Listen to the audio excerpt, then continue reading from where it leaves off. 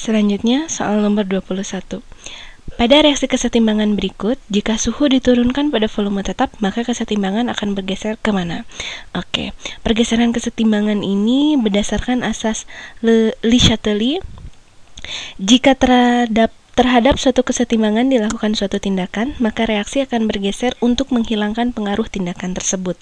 Oke, asas Le Chatelier eh, pengaruhnya pertama terhadap perubahan konsentrasi, perubahan suhu, dan perubahan tekanan atau volume.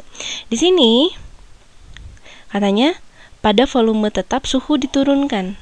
Oke, suhunya diturunkan. Hmm, kalau suhu diturunkan, maka reaksi akan bergeser ke arah eksoterm.